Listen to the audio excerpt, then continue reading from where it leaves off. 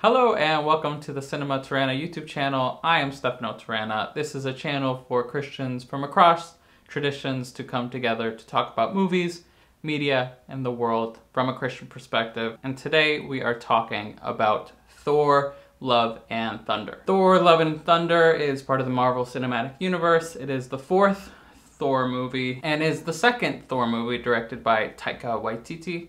He is a New Zealand filmmaker uh, he made some pretty great uh, indie films, and he's kind of a, a, pretty big star nowadays. He's not just directing, but also starring in things as well. So let's take a look at this film from a Christian perspective. We're going to be looking at the symbolic meanings in this film the kind of subliminal messages, if there is such a thing. And we're going to be taking a look at uh, maybe some warnings for this film, um, some ways to understand it, all those good things.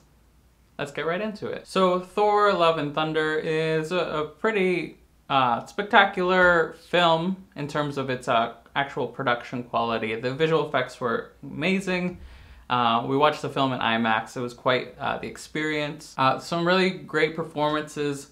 Uh, standout performance was absolutely Christian Bale. His his role as an antagonist was absolutely yeah creepy and you know gave you chills and um, his motivations are, are really well plotted out in the film and I think uh, and I think he's probably one of the best villains in the Marvel Cinematic Universe. That being said, let's break down the symbolic meanings of this film and kind of get a sense of uh, how this film fits in context with the world around us right now. Uh, the world around us right now is um, deconstructing a lot of categories and way of understanding things. We, uh, as a society, are deconstructing things like uh, what it means to be a man, what it means to be a woman. Very basic things that uh, seem self-evident, but for the sake of maybe feelings, inclusivity, values like that, we've been sacrificing truths about our physical existence. And this film is definitely subject to that. Uh, this film, uh, just to name a few things, breaks down the idea of what it means to be Thor. You know, Thor isn't just a man from Asgard, he's, um, he's a woman from Earth. And uh, Jane Foster is just as much Thor as uh, Thor Odinson himself. Valkyrie uh, a female is a is a king, is the king of Asgard, of New Asgard in this film. So kings don't have to be men; they can be women. Um, it just sounds ridiculous to even say it out loud.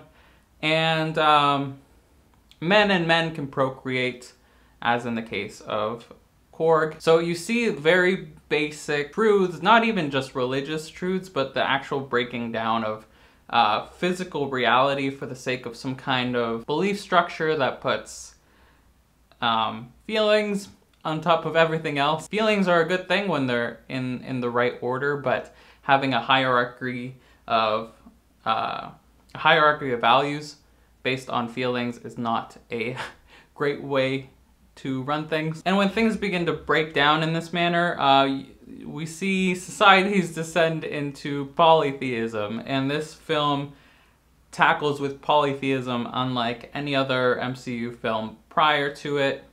We've seen kind of little glimpses of it in uh, the previous Thor movies. He's obviously a Norse god. And then we saw much more of it with uh, the Disney Plus show Moon Knight, that was a kind of um, that was kind of Marvel dipping its toes into the Egyptian pantheon. But here we see gods from all types of cultures, uh, fictional ones, real ones, from all around the galaxy, and they kind of uh, live in this city in the heavens.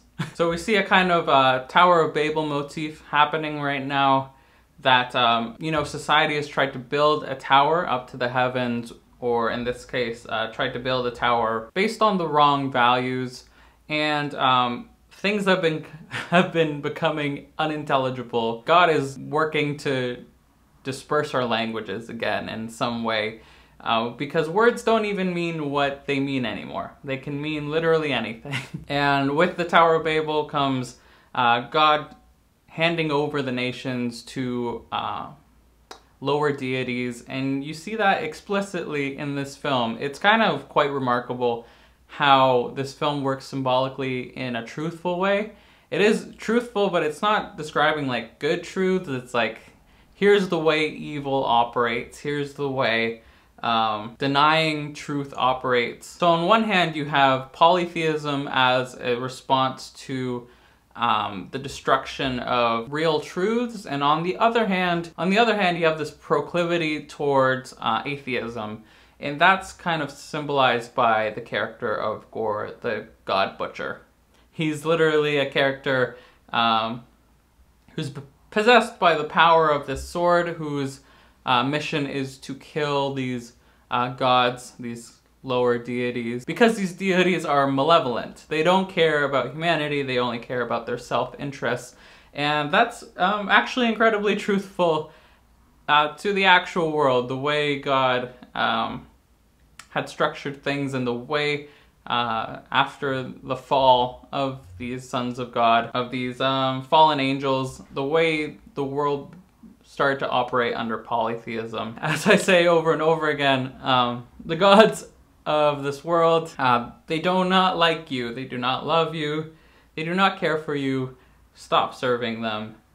And um, they're kind of like that in this movie, which is which is true. Um, except for maybe Thor, he has a uh, kind of interesting character arc. But you know, in it's, it's strange that in some way this film is truthful in that sense. And then at the end of this film, you have uh, an encounter with this character named Eternity. And um, it's not, this character is kind of uh, symbolic, symbolically represented as kind of the universe, this um, kind of naturalistic be all, end all. Instead of there being uh, a first mover in Aristotelian thought or, you know, just good old God in Judeo Christian thinking, this character in the Marvel universe is a uh, kind of a stone cold being who is kind of one with the universe in one way. So, you know, in, that way they got they got things wrong.